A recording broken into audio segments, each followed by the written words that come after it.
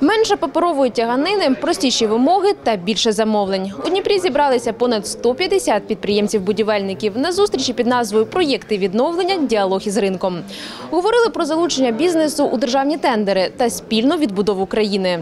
Хотіли б дізнатися конкретно, що для цього потрібно. Тобто, от я хотіла піти з заходу і мати відповіді на питання, як там проходить тендера, де зареєструвати, що для цього необхідне. Нам потрібна робота, нам треба роботою забезпечувати наших робітників. Також хотіли б е, посприяти відновленню нашої країни. А для цього підприємці прийшли почути чіткий план із відновлення. Говорять, зараз багато нюансів у роботі з державним замовником. Треба спрощувати процес співпраці.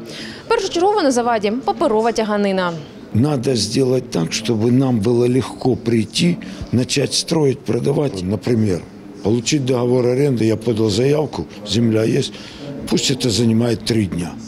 Постанова, закон, что за три дня я должен получить эту аренду. Государству же выгодно. Чем больше, быстрее я начну строить, тем больше я буду строить, получить больше налогов. На зустрічі говорили і про зміни вимог до участі у тендерах на будівництво житлових і соціальних об'єктів.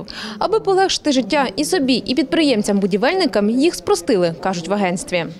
У тендерній документації чітко вказують всю відому інформацію та кошториси, надають достатньо часу на підготовку пропозицій та значно скоротили кількість необхідних документів і довідок. Такі нововведення мають подолати дискримінацію учасників тендерів, впевнені в агентстві.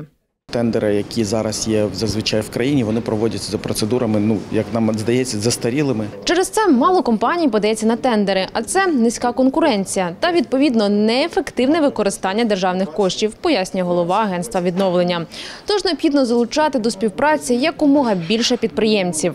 Головне послаблення, що ми не вимагаємо, якщо у компанії є досвід і вона спроможна, ми не вимагаємо додаткових довідок, які, ну вибачте, можна купити зараз на ринку, які не доводять нічого, а лише ускладнюють роботу підрядників.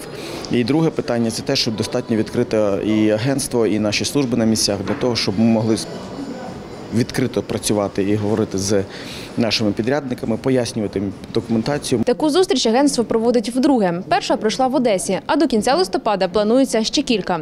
Ніколь Савченко, Юрій Смірнов, Open News, телеканал відкритий.